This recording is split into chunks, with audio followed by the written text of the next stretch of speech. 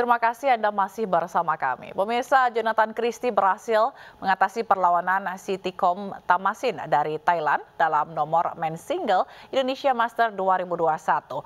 Jojo mengaku belum puas dengan penampilannya di game pertama pada kemarin. Pebulu tangkis unggulan 6 Indonesia, Jonathan Christie, berhasil mengatasi wakil Thailand, Sitkom Tamasin, dalam nomor men single. Berlangsung ketat, Jojo memimpin pertandingan pada set pertama dan meninggalkan Sitikom pada skor 18. Tidak butuh waktu lama, Sitikom membalas kemenangan Jojo pada set kedua dan meninggalkan Jojo pada skor 20. Kemenangan Jojo diraih pada rubber set dengan skor 21-17. Jojo pun mengakui lawan yang sempat ditemuinya pada saat junior ini termasuk lawan yang tangguh. Sementara performanya pada game pertama dirasa belum optimal.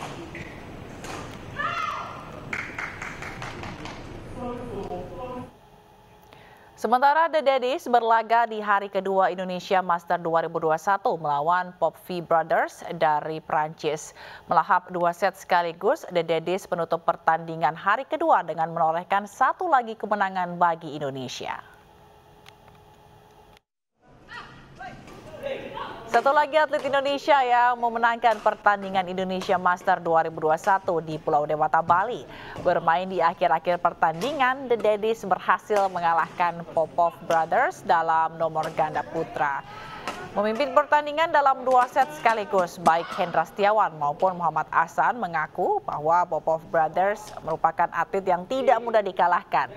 Dengan kegigihan keduanya dalam dua set, The Daddies meninggalkan Popov Brothers dengan skor 17 di set pertama dan 14 di set kedua.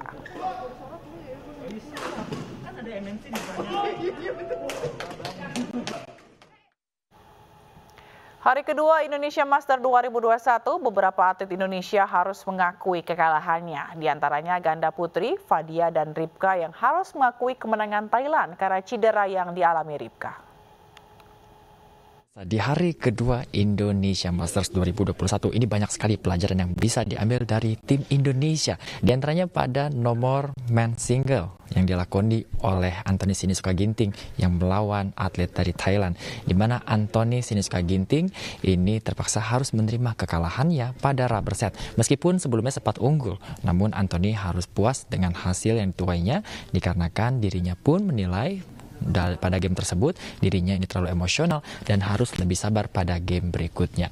Sementara pada women's double atau ganda putri yang dilakoni oleh Fadia Ramadanti dan juga Ripka Sugiarto ini terpaksa harus puas dengan hasil kekalahannya pada rubber set dikarenakan Ripka yang mengalami cedera pada kaki. Meski demikian, Fadia yang sebelumnya pada tanggal 16 November lalu ini berulang tahun mengaku tidak kecewa dikarenakan yang menilai perjuangan Ripka yang tidak main-main yang bertahan sampai rubber set meskipun harus melawan rasa sakit. Meski demikian, kemenangan juga dialami oleh tim Indonesia di antaranya Jonathan Christie yang melawan Thailand yang lumayan sengit pada saat bertanding di mana Jonathan atau Jojo ini berhasil uh, leading atau memimpin di set pertama namun kemudian pada set kedua Jojo harus kalah dari Thailand, sementara Jojo ini berhasil kembali meningkatkan performanya pada rubber set sehingga Jojo berhasil menang dan bersiap untuk ke pertandingan selanjutnya. Sementara itu selain Jojo juga ada Ahsan dan juga Hendra yang bermain pada men's double di mana pasangan ini tadi berhasil melahap langsung lawannya dua set sekaligus. Tentunya besok juga masih ada sejumlah pertandingan seru di antaranya yaitu Gracia Poli yang akan bermain pada sore hari. Seperti apa pertandingannya dan keseruannya kita akan pantau terus di Indonesia Masters 2021. Dari Bali, Bayu Pradana, Sutrisno, Anyus melaporkan.